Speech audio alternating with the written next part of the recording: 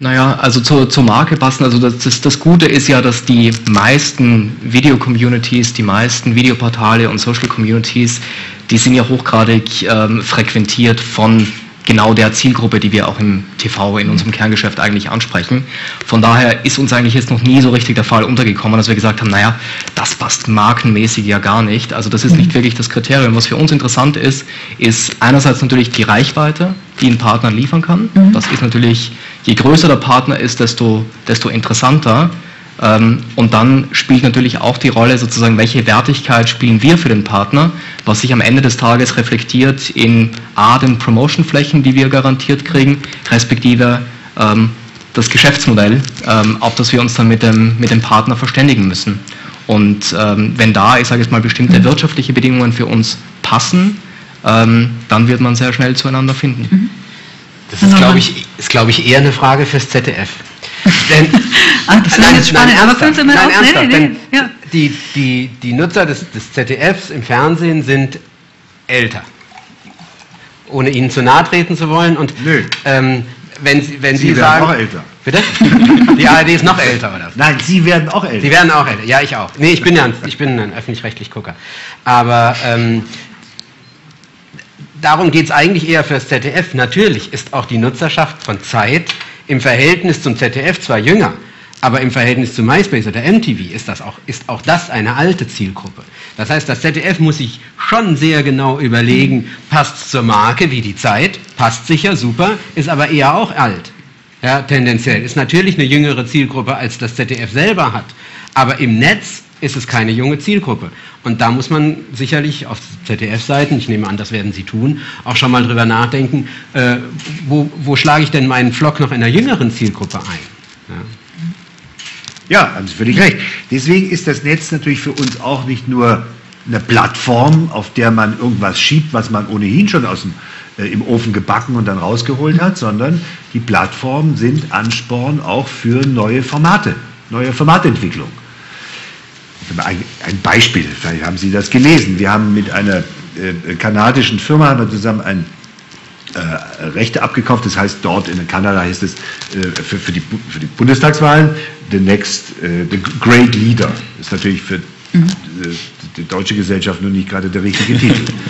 Äh, ja, aber dafür, dafür, können wir ja nichts. Nicht? Wir haben den auch nicht so übernommen. Das ist dann irgendwie rausgekommen es ist eine, eine, nicht eine Form des Castings, sondern man die Form, man den Versuch zu machen, durch ein neues Format jüngere Leute durch die Art und Weise, wie sie diskutieren, wie sie sich engagieren, das in ein Format zu binden und in unser Fernsehprogramm zu binden. Ergebnis war, die Politik war entsetzt. Mhm. Sie haben sich entschuldigt und geschämt für das zweite deutsche Fernsehen, nur an ein solches Format mal zu denken. Das ist ein Beweis dafür, dass wir es trotzdem tun müssen. Da sind wir auf dem richtigen Weg. Die Politik ist kein Maßstab für Publizistik, sondern äh, würde sagen, ist eher mit Vorsicht zu genießen, was wir öffentlich-rechtlich ja vor allem wissen. Ähm, und zum Zweiten ist es ein Beispiel dafür, dass solche Formate in den, in, in, in den Massenmedien, auch im Fernsehen und im Netz, wirklich notwendig sind. Sonst verlieren wir das Interesse junger Leute in der nächsten Zeit. Und das ist für uns ein Ansporn. Deswegen versuchen wir es auch und sind auch für Kooperationen offen. Weil wir natürlich auch in den Redaktionen, wir haben nicht 19-Jährige, aber wir haben, gut, wir haben einen Kinderkanal und ähnliches, da wächst schon einiges raus, aber das ist unser Anspruch. Ähm, Frage an alle, ich fange vielleicht mal mit Herrn Neumann an. Wie sieht denn der digitale Medienkonsument der Zukunft aus? Oh, Okay, ich weiß das so ein bisschen. Die 100, Millionen Euro Frage. Ja. Also, ähm, Sie hatten ja vorhin schon kurz angedeutet, dass die Mediennutzung, das wissen wir ja alle, sich auch jetzt schon sehr stark verändert hat. So ist es. Also ich wage keine Prognose darüber, wie das Netz in fünf Jahren aussieht. Ja, das wäre, glaube ich, schon, schon zu weit also gegriffen. Ich wollte ja auch nicht in die also, bringen. Nee, aber definitiv ist äh, wohl, und das glaube ich ist unstrittig, ähm, dass die klassischen Medien zurückgehen werden. Und in den USA wird schon äh, an die Wand gepinnt, in zehn Jahren gibt es überhaupt gar keine Tageszeitungen mehr. Mhm. Ähm, ich glaube das nicht. Ich glaube, dass auch die Tageszeitung äh, diesen, diesen Sturm überleben wird. Ähm, trotzdem, klar, das, das Netz wird das beherrschende Medium äh, werden, in, in jeder Form. Es wird weiter diversifiziert werden. Äh, und ich glaube, am Ende gewinnt der äh, den, den, digitalen User in zehn Jahren, äh, der am besten auf, auf Suchanfragen reagieren kann. Ja? Denn das Netz ist ähm, nur zum Teil Unterhaltungsmedium, sondern es ist eben auch in, in weiten Teilen eben Suche. Hopfgartner.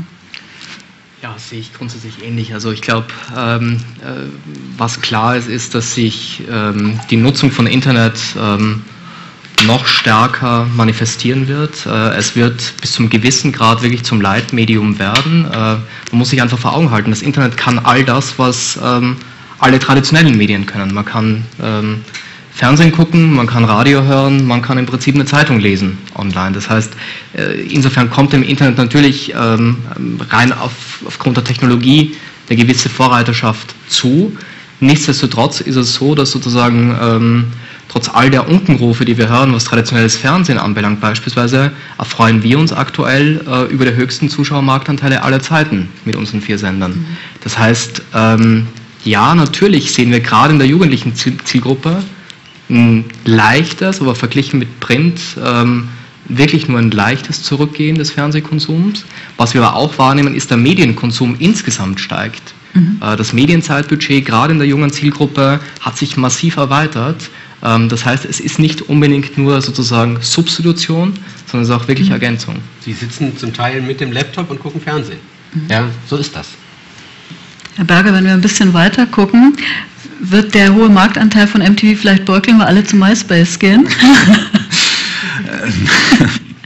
Ähm, also ich denke, dass es sich insgesamt stärker, noch stärker personalisieren wird. Also es werden, man wird nur noch das konsumieren, auch können, weil es einfach so viel gibt, was man sich selber schon zurechtgelegt hat, was man auch konsumieren will. Also der, einer der, der Grundpfeiler von MySpace und allen Social Communities ist ja diese Personalisierung. Ich lade meine Videos auf mein Profil, meine Musik.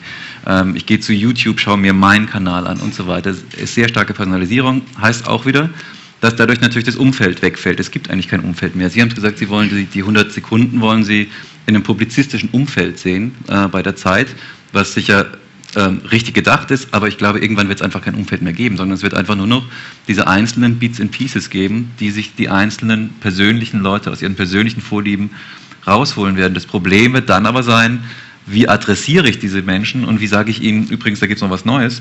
Mhm. Und letztlich, wie bringe ich auch die Werbung an sie. Aber darüber ähm, denke ich, sind wir auch schon einen ganz guten Schritt weiter, weil es ja sehr ausgeklügelte Methoden gibt, sowas zu tracken, was die Leute sich dann wirklich anschauen, entsprechende Targeting-Mechanismen daraus generieren.